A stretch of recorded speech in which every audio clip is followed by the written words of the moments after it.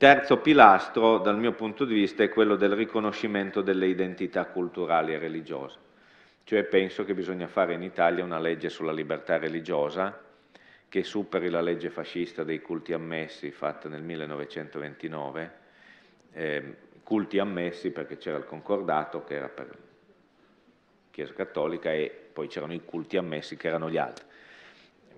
una legge sulla libertà religiosa sarebbe stata giusta in, in astratto, diciamo così, a prescindere eh, da,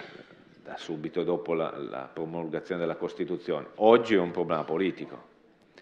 perché penso che bisogna eh,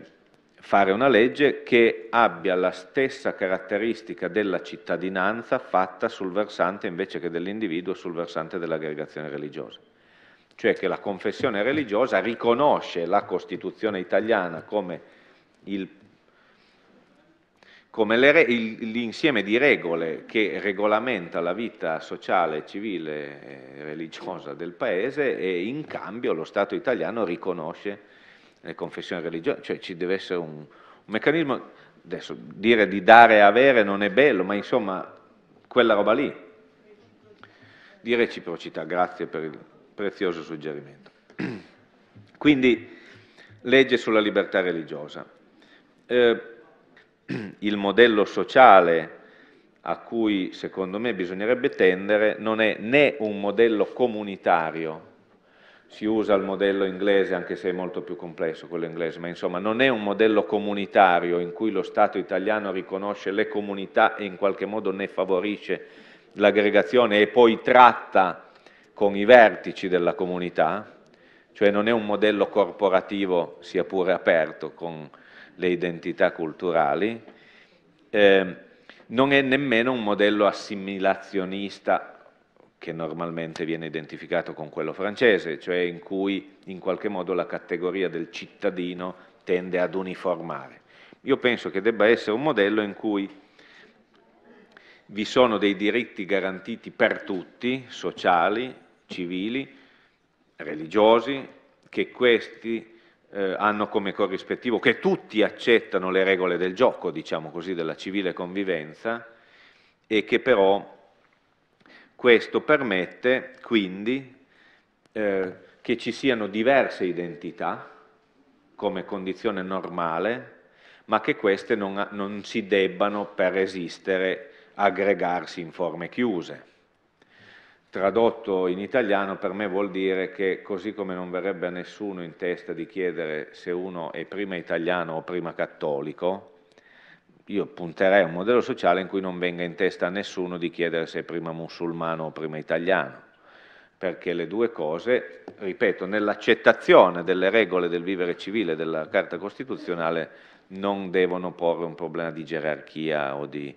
o di, eh, di, di elidersi. E quindi un'idea dove le identità diverse possano coesistere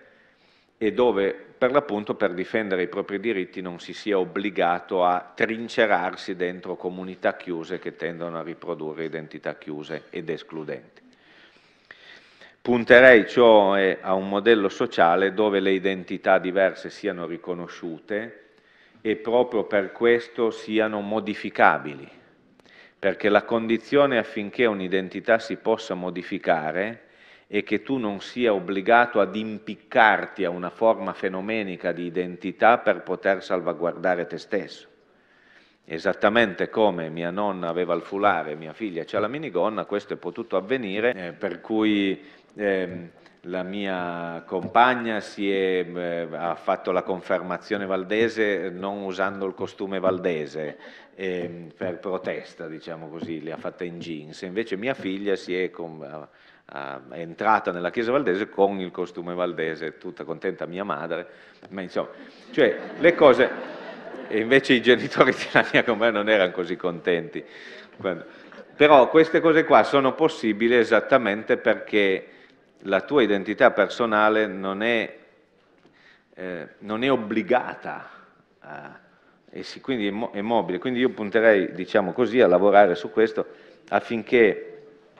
sia possibile cambiarle le identità, cioè le identità non siano fisse. Attenzione, non vuol dire che non esiste l'identità, vorrei che fosse chiaro. Eh? io farei l'elogio della presenza di identità individuali e collettive, ma secondo me il punto è che non siano fisse in un modo eh, eh, squadrato, diciamo così. E così come secondo me l'altro punto sia possibile avere delle identità, che le persone possano avere delle identità plurali, cioè dove sia possibile essere maschio, eh, comunista, eh, valdese, italiano e, si, e, e, queste cose qua eh, stiano assieme e non si sia obbligati appunto ad essere o italiano musulmano o, o, o, o ita- cioè, no? identità plurali. Io penso che questi due punti, identità plurali, identità modificabili, eh, sono il nodo per evitare, diciamo così, che eh, questa simpatica situazione in cui siamo finisca nella guerra civile. Ovviamente noi lo, lo, adesso stamattina io ne sto ragionando dal punto di vista del rapporto con gli immigrati, e secondo me vale in generale, cioè le, le identità padane costruite sul, inventandosi una tradizione che non esiste, come sempre, eh, e costruite sulla terra e sul sangue, alla fine diciamo, queste robe qua sono forme di identità, di proposizione di identità fisse, immodificabili, escludenti e in cui le diverse identità, l'essere operaio, l'essere, svaniscono dentro l'identità legata alla terra. Ecco, io penso che queste sono forme di identità reazionarie che noi dobbiamo lavorare secondo me non si può usare il termine combattere, perché combattere sembrerebbe che tu hai un'altra identità altrettanto forte che si confligge con quella. Invece io penso che vanno smontate. Vale per l'identità padana, vale dal mio punto di vista per l'identità pakistana chiusa o indiana chiusa, cioè di lavorare al, al non rendere obbligatorie attraverso l'asciugatura dell'incertezza sociale identità chiuse e lavorare ad un modello in cui le identità appunto siano modificabili e plurali. Questo lo dico, eh, son, sto quasi finito, non preoccupatevi, eh, in un'idea dal mio punto di vista che esistano dei conflitti positivi e che sono i conflitti dove la logica non è amico-nemico, eh, cioè non è eh, che io vinco distruggendo te, ma è una logica del dire io vinco nella misura in cui modifico te e modifico anche me stesso. Secondo me il conflitto di classe è un classico conflitto di questa natura, in cui, eh, e lo si vede, lo si vede, se uno fa la storia di questi ultimi 50 anni, vede come quando il conflitto di classe è stato molto forte, e ha, ed, è, ed ha prodotto forti avanzamenti, ha modificato significativamente la borghesia, non è che non l'ha modificata. E oggi che il conflitto di classe sta messo molto male, eh, c'è una borghesia che tende a produrre colture devastanti, nel senso che secondo me i conflitti di questo tipo sono conflitti positivi, che appunto modificano la società e, e, e, possono, e possono, farlo. Eh, Viceversa i conflitti che sono basati sulla, su forme di differenzialismo totalitario, cioè appunto di, di eh, la terra, il sangue, queste robe qui che abbiamo già visto all'opera negli anni 10 e 20 del Novecento e poi tragicamente 30 e 40,